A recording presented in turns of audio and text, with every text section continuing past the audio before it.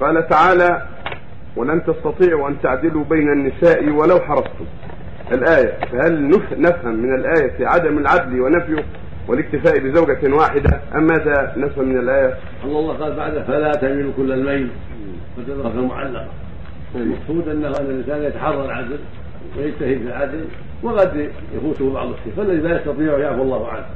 الاجتهاد وبذل وسعة واتقى الله فما عجز عنه. معفو عنه فاتقوا الله ما استطعتم. لا مع وحده ولا مع الجماعة. عليه يتقي الله ويعدل في حق المرأة ويعطيها حقها من نفقتها ويحسن الخلق معها. الله يقول وعاشروهن بمعروف.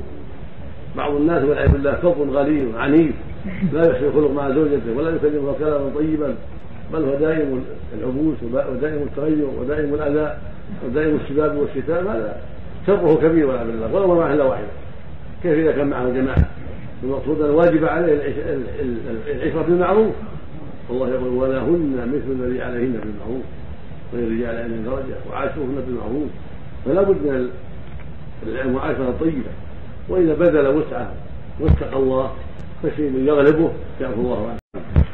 يقول تعالى آه، فانكحوا ما طاب لكم من النساء مثنى وثلاث ورباع إلى قوله وإن خفتم ألا تعدلوا فواحدة. ويقول في آية أخرى ولن تعدلوا بين النساء ولو حرصتم. ولن تستطيعوا. أن تعدلوا بين النساء ولو حرصتم. فما تفسير ذلك؟ تقدم الجواب عنه تقدم الجواب عن هذا وأن الاستطاعة لا يمكن أن أن يقوم الإنسان بذلك. لكن عليه المستطاع عليه ما يقدر.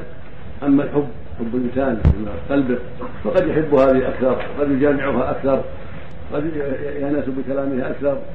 ليس الأمر بيده. هذا يتعلق بالقلوب. وكان النبي صلى الله عليه وسلم فيما بين النساء عليه الصلاة والسلام ويقول اللهم قسمي فيما أملك فلا تلمني فيما تملك ولا أملك. هكذا يقول النبي صلى الله عليه وسلم. قال العلماء معناه الحب والمودة وما ينشا عن ذلك. هذه امور بيد الله ليست